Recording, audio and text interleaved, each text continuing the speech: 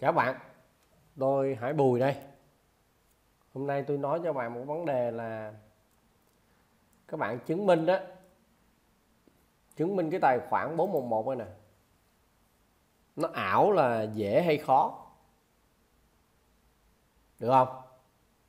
Tôi xin trả lời các bạn là rất dễ các bạn. Được không?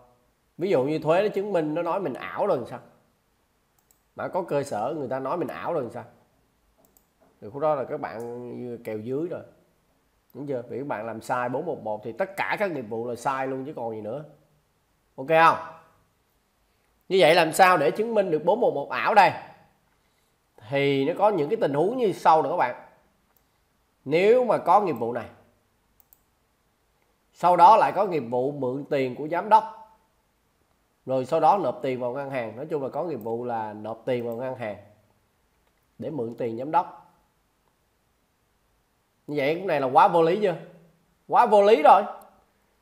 Tự nhiên có nghiệp vụ này, rồi lại có nghiệp vụ là mượn tiền của giám đốc bằng tiền gửi ngân hàng nữa.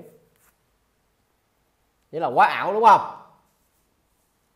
Rồi tiếp nè, có nghiệp vụ góp vốn bằng chuyển khoản luôn. Sau đó rút ra, sẽ ghi như thế này. Rồi có tiếp những nghiệp vụ như thế này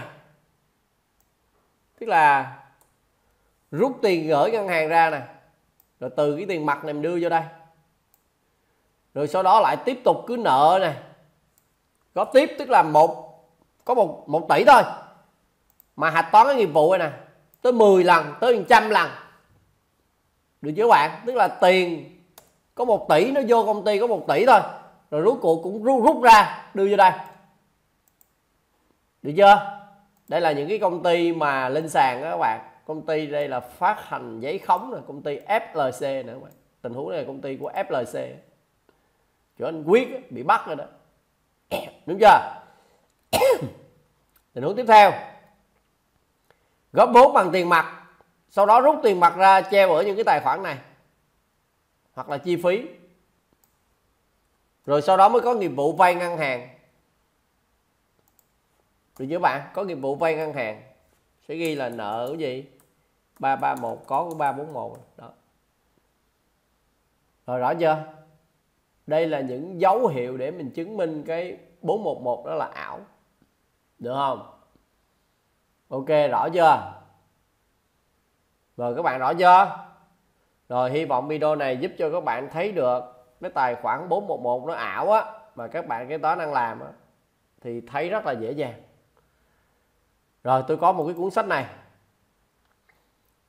Bạn nào muốn biết được anh thuế, anh xuống công ty mà anh kiểm tra làm sao á, kiểm tra từng tài khoản trong bảng cân đối số phát sinh, cũng như là báo cáo tài chính như thế nào á, phát hiện ra những gian lận mà các bạn đang làm á, thì vào mua cái cuốn sách này.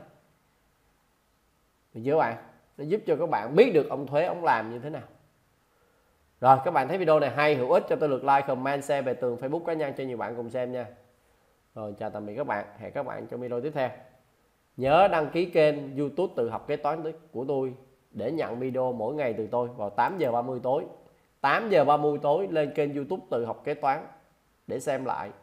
Nhớ bấm đăng ký kênh và bấm cái chuông để mỗi lần tôi ra thông báo nó mới hiện lên cho các bạn thấy được. Rồi, cảm ơn các bạn. Hẹn các bạn trong video tiếp theo.